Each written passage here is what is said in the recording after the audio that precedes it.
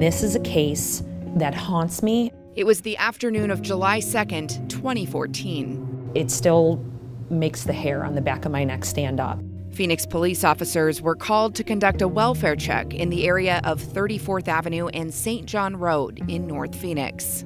I remember the smell, I remember the sight, I remember the sounds. 81 year old William Singer and 64 year old Barbara Singer had not been seen or heard from in several days. Phoenix Police Lieutenant Lois Weiss says when officers got inside the home, what they found is nothing short of horrific.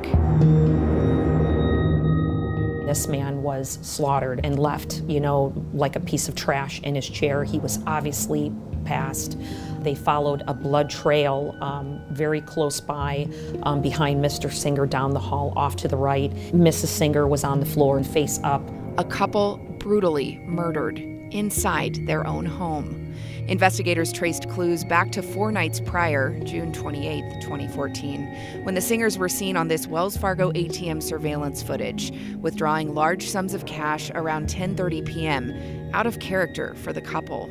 Detectives believe the Singers were brought back to their home and killed not long after. What's so frustrating is we just don't understand why them. Why target them? Phoenix police worked every angle of this case from financial to familial, but ultimately the case went cold. And now, six years later, still no one has been held responsible for the murder.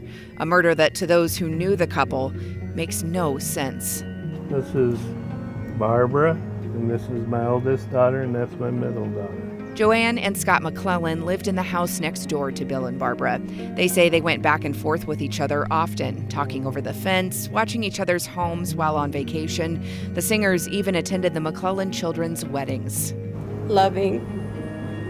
Honest, honest. Uh, friends, good friends. Good friends. They say Bill and Barbara were the nicest people, still so in love.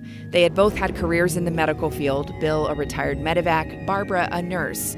Bill also had children and grandchildren from a previous marriage, family that Barbara took in as her own. You know, these people were good people, and you you know that they didn't deserve this. No one deserves this. If you have any information regarding this case, contact Silent Witness at 480 Witness or leave an anonymous tip on the Silent Witness website at silentwitness.org. You will remain anonymous and could earn a cash reward.